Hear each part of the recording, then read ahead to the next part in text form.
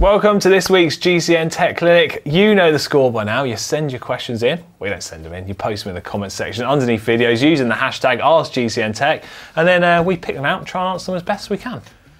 We do. Uh, so without further ado, we've got a question from Dinesh Kumar who says, "Hi GCN, is there any specific limit to patch an inner tube? Can or can I patch it any number of times? Thanks." Um, patch it as many number of times as you like. There's no set limit. The only thing I will say is that if you've got two punctures particularly close to each other, um, then it might be game over for your inner tube because it's hard to patch them, isn't it? Yeah. Yes. Um, next question, Toby Wilson. Didn't you say you know a Toby Wilson? I Do know someone called Toby? I wouldn't. I don't, there might be another Toby Wilson. Yeah. Anyway, Um, says, Hi, Ollie and Alex. Many studies have shown that carbon frames are stiffer and lighter, but does a stiffer frame really make you faster, or is it just for comfort?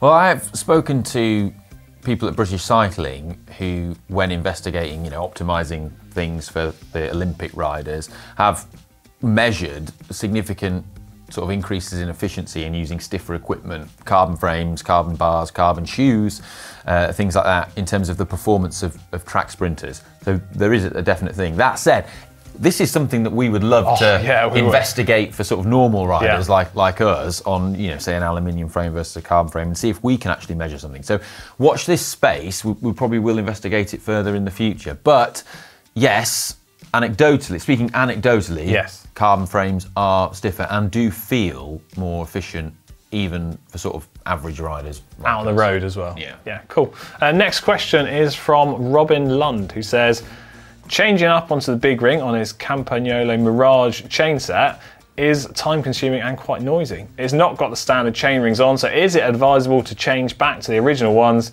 and the original chain? Will this help?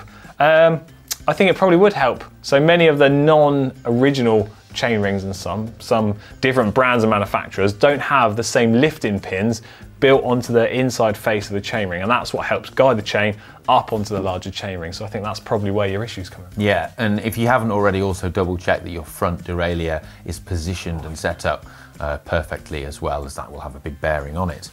Uh, next question is from Oliver Wetham, who says, Hi Alex Nolly, I want to replace my saddle with something I get on with a bit better, but the new saddle has oval rails, so I'm guessing it's carbon Yeah. rails, uh, 9 by 7 millimeters, while my current one has round 7 millimeter rails.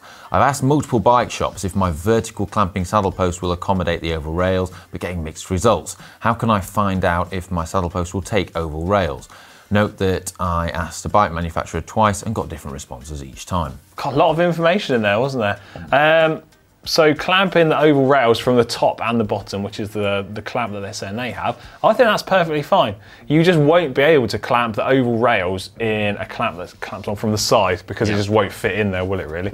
Um, so in my mind, clamping it from the top and, top and bottom, no stress whatsoever. Yeah, if it fits, it should be okay, but just make sure that you use a torque wrench and you tighten it to the uh, advised torque setting of the saddle rail so that you don't end Yeah. up damaging anything.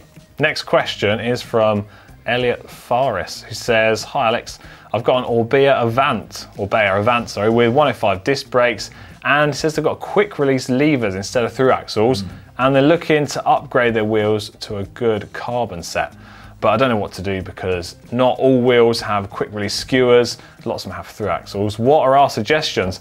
Um, it's going to vary a lot, isn't it, depending on what type of wheels, what manufacturer you go to. So you're going to need to look at those specific wheels and the models and then contact the manufacturer to see if they'll supply them with the different fixings and end caps, because some of them do, like the Vision Trimax wheels. I know they're aluminium, but they include all of the different fixings into the box to run all of the different axles. So contact the manufacturer for the wheels that you're looking at, and they'll be able to let you know if they're suitable.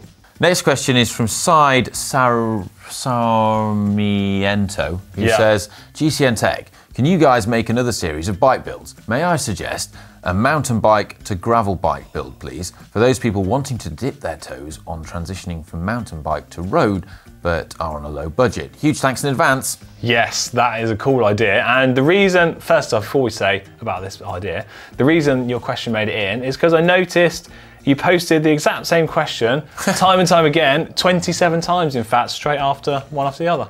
Um, so yeah, you made it in. But I think it'd be really cool to try and do a, a mountain bike, gravel bike conversion, wouldn't it? I'm keen for that. you keen? Yeah. Oh, I guess we better make a plan, don't we? Okay, well, on to our last question for this week's, which is from Douglas McCowan, who says, Just curious, Alex, why does your great looking Orbea use an Ultegra crankset, well, it uses a group set as well, um, and not Dura-Ace? Why is that, actually? Oh, um, you've not passed your probation yet. You only get Dura-Ace when you pass probation. What, period. steel? Yeah. I've been here ages now. Keep trying. Oh, God. Um, I'm joking. No, well, we've got a, a mixture of, of all different bikes. We've got bikes with 105 on as well, and some have got Ultegra on. And it, luck of the draw, basically. yeah, it all Yeah. works. It's all great stuff. It all works really, really well. Yeah, that's it. That was our last question for this week's GCN Tech Clinic. Hope it's been helpful and we've answered your questions. If we haven't, we'll keep getting them in the comments section down below and we'll try and get to them next week. Yeah, keep them coming, and we'll see you next time. See ya. Bye.